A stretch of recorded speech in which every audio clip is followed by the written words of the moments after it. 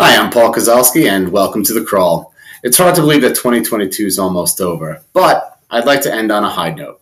I'm going to introduce you to a Charlotte brewery called Olde Mecklenburg. Now, uh, you might have seen some of their beers at stores nearby. Um, but uh, what I really like about this place, besides the great beer, is that they really focus on tradition. So as we approach the holiday season, uh, I think that it's a great way to uh, wrap up this year. Olde Mecklenburg's brewery's claim to fame is that it's Charlotte's oldest. That sounds prestigious, but it opened in 2009, so it hasn't been that long. But when we talk about OMB's old school roots, we're talking really old, dating all the way back to 1516 with the adoption of Reinheitsgebot. That's a German purity law of beer, which essentially states that beer can only have four ingredients water, hops, yeast, and malted grains. By sticking to these four simple ingredients, OMB hopes to create traditional beer with a high degree of quality.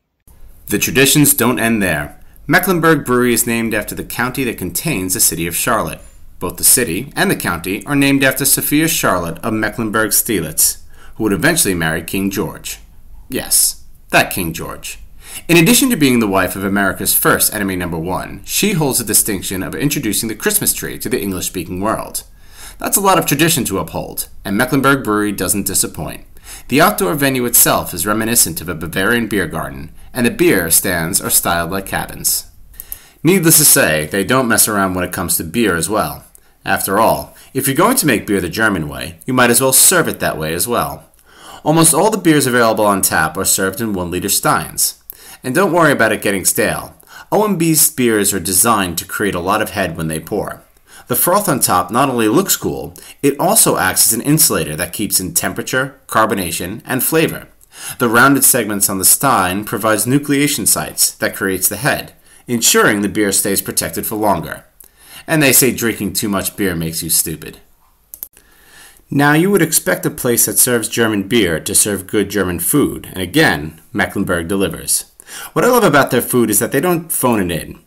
I've been to lots of beer halls that serve sausages, but this place will serve knockwurst, bratwurst, weisswurst. You get the idea. You're also looking at a vinegar-based potato salad and traditional sauerkraut. Because they stick to Reinheitsgebot, you can always expect a high-quality beer without any off flavors. However, it also means there's a lot of different types of beers you won't see. Sours, lambics, and other fruited varieties are verboten by their standards. And many varieties that rely on extracts won't be seen at OMB.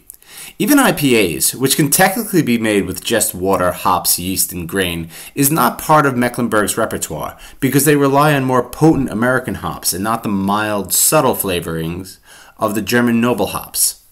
In fact, the vast majority of their beer are not ales at all, but lagers, which was the original beer the framers of Reinheitsgebot had in mind. That doesn't mean you can't find variety. Between Hefeweizen, Bocks, Pilsners, Märzen beers, and Pilsners, You'll have plenty of liters before you run out of options. Mix in the occasional Prosecco ice pop for some extra variety, and you're looking at a very good afternoon.